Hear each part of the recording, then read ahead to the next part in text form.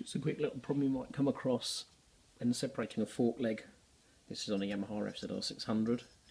When removing the Allen screw out the bottom here, the problem you have is the damper rod, which is this component down here, spins. This is the damper rod. This is where the Allen bolt goes into.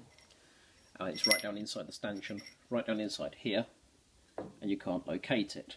They have this sort of 12 pointed or 24 point hexagonal pattern on. Solution on the FZR turned out to be quite simple.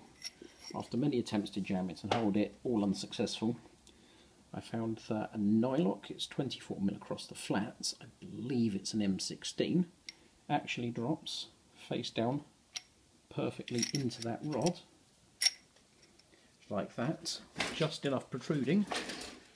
This then allows a 24mm socket to locate on, lock, and through two extensions, hold the damper rod in place so you can hold it while you unscrew the Allen hide at the bottom. This 24mm socket does fit easily inside the tube without any problem at all and it will hold it all and easily maintains that.